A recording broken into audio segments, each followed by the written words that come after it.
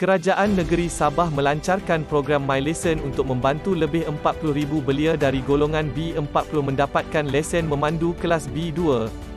Ketua Menteri, Datuk Seri Panglima Haji Hajiji Haji Noh berkata program itu merupakan salah satu usaha murni kerajaan membantu golongan berpendapatan rendah mendapatkan lesen memandu kelas B2 iaitu motosikal bagi memperkasa mobiliti rakyat untuk memperluaskan peluang pekerjaan, pendidikan dan ekonomi mereka terutama dalam kalangan masyarakat di luar bandar. Haji Ji berkata, kerajaan persekutuan memperuntukkan 2.7 juta ringgit bagi kos bayaran latihan dan ujian lesen memandu Malaysia kelas B2 kepada 9,000 orang penerima dari golongan B40. Program MyLesen B2 melibatkan lesen motosikal kelas B2 e-hailing dan teksi dengan bayaran ujian ditanggung oleh kerajaan. Inisiatif ini akan diteruskan pada tahun hadapan sesuai dengan belanjawan 2024 yang menyokong usaha ini.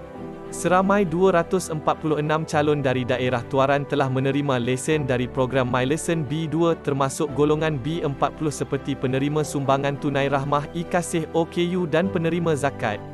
Haji Ji turut menegaskan komitmen kerajaan dalam memastikan keselamatan pengguna jalan raya dan menyeru penerima lesen B2 untuk menjadi pemandu yang berhemah dan mematuhi peraturan jalan raya.